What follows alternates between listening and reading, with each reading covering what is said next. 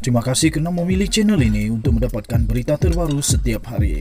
Bagi anda yang pertama kali berada dalam channel ini, sila pertimbangkan untuk tekan butang like, subscribe dan komen video ini untuk penambahbaikan pada video akan datang. Berita politik, berita semasa, berita ekonomi, berita kesihatan, pendidikan dan segalanya ada dalam channel ini. Salam sejahtera Malaysia, berita terkini daripada mhdaily.net bertajuk Panas, Empat Menteri Kabinet bakar digugurkan. Berita penuh, Empat Menteri Kabinet bakal digugurkan. Benarkah Azmin Ali, Zuraida Kamarudin dan Rina Harun digugurkan manakala Hamzah Zainuddin bertukar portfolio? Setakat ini tiada kesahihan mengenai perkara tersebut, namun sebuah portal melaporkan kabinet akan dirombak bagi mengekalkan sokongan rakyat. Prestasi nama-nama yang dikatakan akan gugur jelas satu percaturan untuk meredahkan kemarahan rakyat kepada kerajaan kerana kegagalan menteri itu sendiri.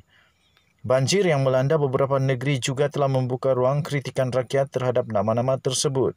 Ada menteri dihalau oleh mangsa banjir sendiri. Malah ada pula perlakuan menteri disiarkan dalam siaran luar negara.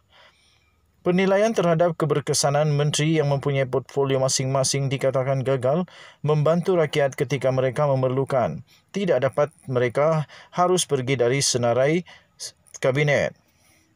Ini bagi membolehkan nafas baru dilantik ke jawatan yang akan kosong dan sekurangnya rakyat akan kembali memberi kepercayaan kepada kerajaan kerana berani berbuat demikian.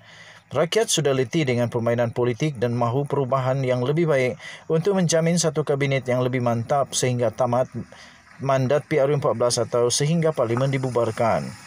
Perlu diingatkan nama-nama tersenarai juga merupakan warisan Kerajaan Pakatan Harapan dan Perikatan Nasional yang gagal namun atas nama politik mereka diberikan ruang dan peluang dalam kabinet. Rakyat memerhati dan mahu perubahan. Difahamkan rombakan kabinet itu mungkin berlaku seawal bulan depan walaupun satu sumber dalam UMNO berkata rombakan barisan anggota kabinet tersebut tidak akan dilaksanakan secara besar-besaran. Bagaimanapun, tumpuan akan diberikan kepada bersatu menteri dan timbalan menteri dari Perikatan Nasional. Sebarang perubahan dari sudut kesembangan parti-parti dalam kabinet ketika ini perlu untuk memastikan gabungan kerajaan itu tetap utuh walaupun perbalahan dan serangan terus berlaku terutamanya dari antara AMNO dan Bersatu. Sekian berita, salam sejahtera Malaysia. Kita jumpa lagi pada berita akan datang. Bye-bye.